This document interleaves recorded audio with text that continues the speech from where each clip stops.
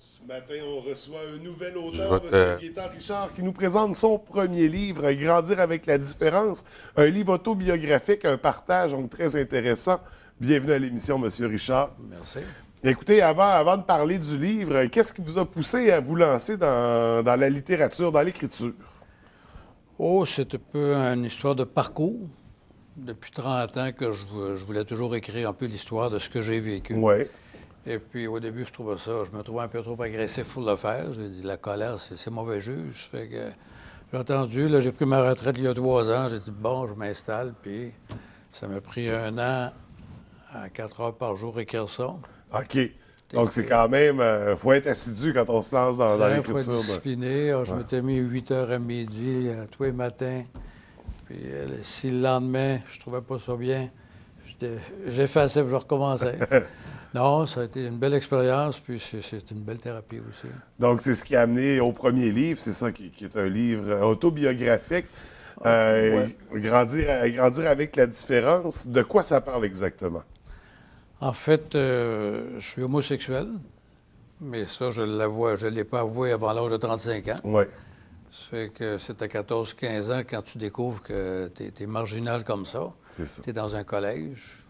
Ben, tu trouves ça difficile. Les ressources dans le temps, dans les années 50, euh, je paniquais un peu, ce qui fait qu'on euh, fait pour le mieux, on prend de l'information, mais dans le temps, c'était simplement de la sublimation par la prière mhm. d'un collège, puis euh, la balance, c'était considéré comme une maladie. Fait que, Justement, quand, on, découvre cette différence-là dans un contexte comme celui-là, comment on vit avec ça? Est-ce qu'on se sent... On panique au début. On panique, euh, surtout au collège. Bon, on dit, dans le temps, il, me disait, mais c'est temporaire, ça va guérir dans 15-16 ans, les hormones... Euh, on, ça, va se placer ça tout va, Ça va se replacer. Mais plus ça avançait, plus tu te, rends, compte que c'est vraiment fait, que c'est là, puis il euh, faut, que tu l'acceptes, puis qu'est-ce qu'on fait avec ça maintenant? Est-ce qu'on l'assume? Mais dans le temps, j'avais trop peur. Il y avait les sarcasmes, le mépris, tout ça. J'avais trop peur de ça. C'est que je me suis isolé, puis euh, j'ai dit, je vais me guérir, parce que si c'est une maladie, ça se guérit. Ben... Fait que j'ai continué mes études. Sorti du collège en question, qui était une place où est-ce que pour entrer là, il fallait que tu aies l'engagement de vouloir faire un, prêtre ou un curé. Mm-hmm. Mais là, vois-tu, dans un endroit comme ça, entouré d'hommes tout le temps avec ce problème-là. Fait que non, j'en suis sorti, puis euh, j'ai dit, bon, ben, je vais m'inscrire en médecine. Ben, c'est de régler ça après mon cours classique. Je suis venu étudier deux ans ici à Allemand pour ça, faire mes philosophies. Après le cours classique, ben là, euh, je me suis allé en médecine, puis euh, fait mes stages, tout ça, puis Là, j'ai bien vu que plus ça avançait, bien là, à un moment donné, ils ont dit, ah, c'est plus une maladie. Parce que j'ai fait un, stage, pas comme patient, mais comme stagiaire en, psychiatrie. Puis euh, je voyais les électrochocs, tout le kit. Je dis, ben non, ben non, ben non, j'ai pas envie de faire ça, moi, là. là. Fait que... Ensuite, j'avais pas envie de vivre une vie euh, de solitaire, caché. Puis je voulais euh, un peu être normal, côté social. Ça fait que j'ai dit, je peux peut-être essayer de me marier. Ça fait, que, essayer d'établir une relation avec une femme. Oui, c'est de m'apprivoiser. Ouais. C'est surtout ça, apprendre à, avoir de l'affection et tout ça, mais tu ne peux pas développer une attirance comme ça. On ne peut pas aller contre notre nature. Non, non mais ça, tu, penses que tu es capable de développer ça. ça On va finir par s'habituer. Puis, je parle euh, de mon Everest là-dedans, c'est ça mon défi. De...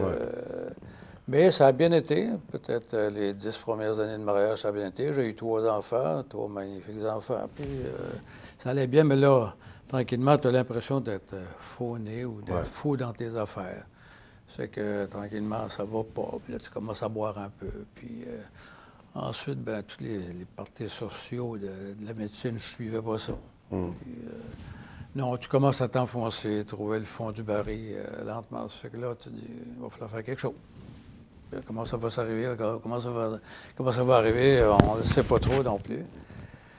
Mais euh, mon ex m'a amené au reniement conjugal. Je ne sais pas si vous connaissez le reniement conjugal. Le Marriage Encounter, c'est un, une fête semaine de témoignages très. Euh, des gens en difficulté pour assez de Une thérapie de couple. Exact.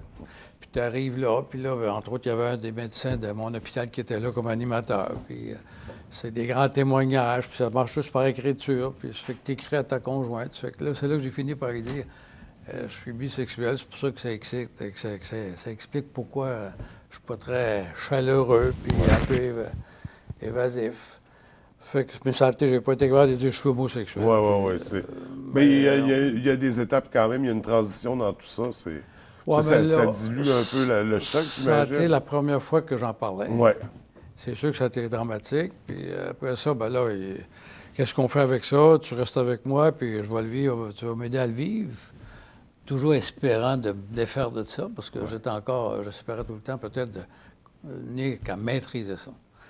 Mais non, plus ça va, plus, plus tu bois, plus, plus tu vas d'un bord un peu, là, puis là, tu, tu dis, non, c'est plus ça, là. Fait qu'aller contre, contre sa nature, c'est s'enfoncer, là. Après ça, on... Ah, ben, c'est... C'est ce que ça décrit.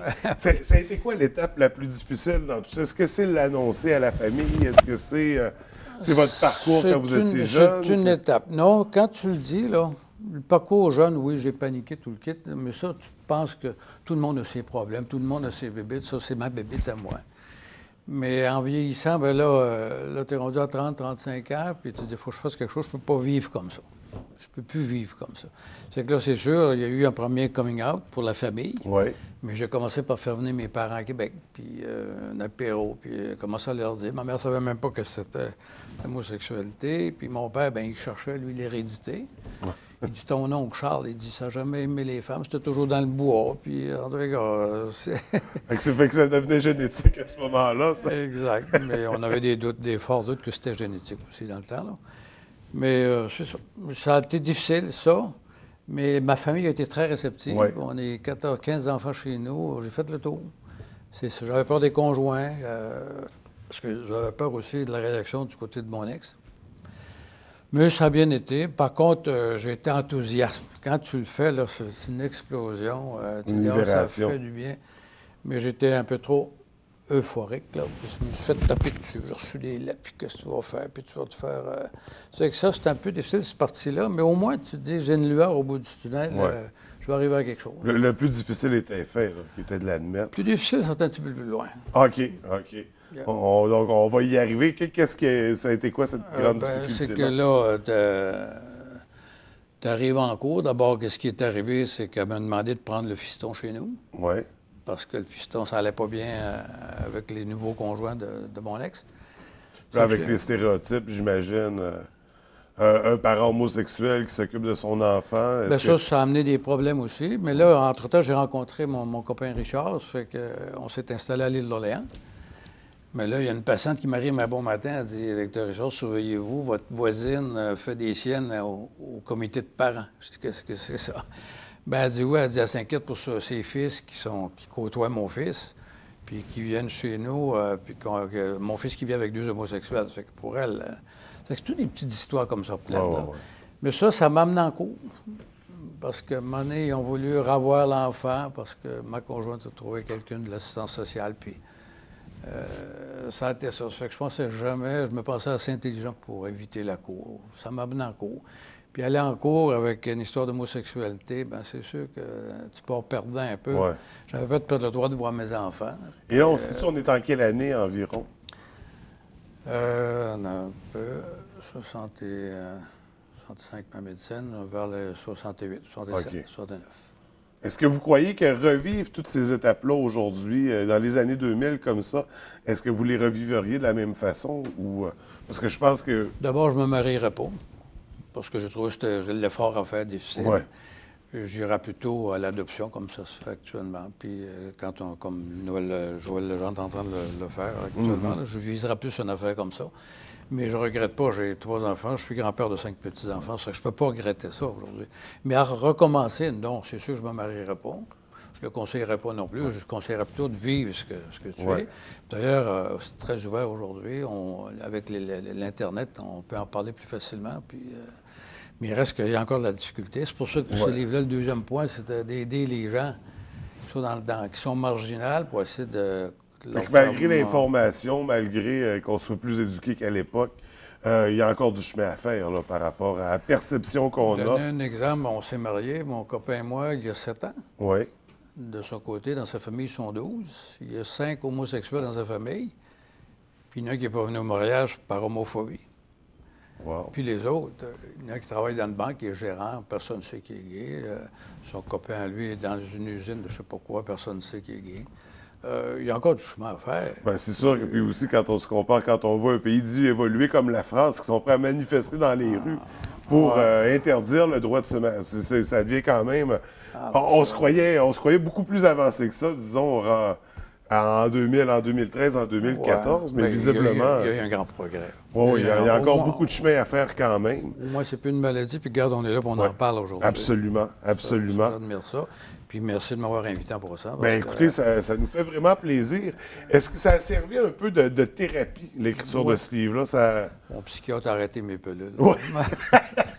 non, c'est une thérapie, oui. Ça fait du bien. Beaucoup de bien. Mais ce qui me fait du bien aussi, c'est que je commence à recevoir des courriels. Ça fait juste une semaine et demie qui est lancé. Là. Oui. Je vais donner un exemple. Avant-hier, il y a un petit Alain, un gars de 40 ans de Nouveau-Brunswick, qui, qui m'envoie un courriel et dit Merci beaucoup, bravo, bravo, bravo. Je me suis identifié à vous dans mon livre. Bravo, merci. C'est ça que j'ai fait de ma petite enquête, mais c'est un type qu'au Nouveau-Brunswick, on ne dit pas homosexualité, on dit c'est un vieux garçon qui va prendre soin de sa mère.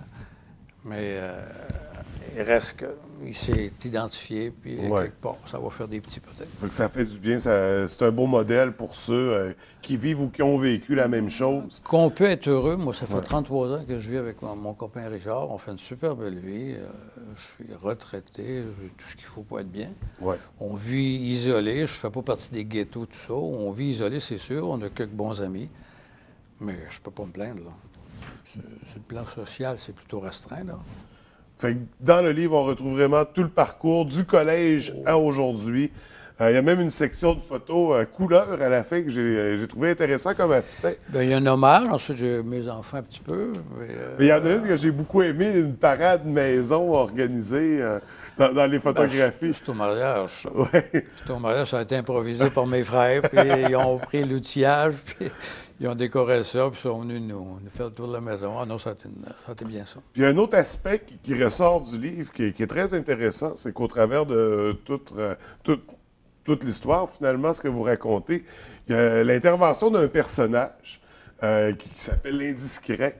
Euh, c'est qui? De, quoi il s'agit exactement comme, comme intervention? Ben, tout le long de mon parcours, j'ai des gens qui m'ont jugé, des gens qui ont questionné. Ce que l'indiscret représente tous ces gens-là le questionnement, des réflexions que j'ai reçues.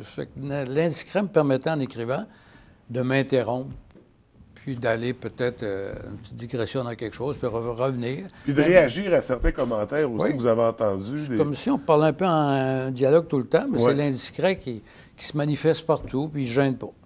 Donc, c'est vraiment, ça rajoute un plus à toute cette histoire-là. Ça peut outiller les gens, justement, qui parfois cherchent des réponses ou cherchent à comprendre ce que c'est. Donc, ça s'adresse à tout le monde, ce livre-là. L'indiscret, c'est tout le monde. Oui, oui, oui, absolument. Puis c'est tout le monde, puis c'est tous ceux qui vont lire peut-être un jour, puis euh, c'est l'indiscret qui pose des questions pour eux autres. Ben, on invite à lire, ça, ça permet justement de, de mieux s'informer, de mieux connaître cet univers-là pour ceux et, euh, et, celles qui vivent des parcours similaires. Euh, c'est un bel outil aussi. Je crois que pour un premier livre, chapeau, c'est une belle réussite. Ben, gentil. Et là, on parle d'un premier livre. Est-ce qu'il y a déjà un projet, un nouveau projet littéraire en cours, euh, des idées qui sont sur la glace? Je ne sais pas si vous avez lu du côté de mon père, qui est orphelin puis qui a, euh, fait eu une enfance euh, terrible avec un, paralytique cérébral. Mm. C'est que j'ai envie de décrire ça parce que mon père, dans la dernière année, il a fait un genre d'AVC. Ouais, c'est ça, un AVC, ça, qui était, il n'y avait plus d'inhibition, il se racontait. Oui.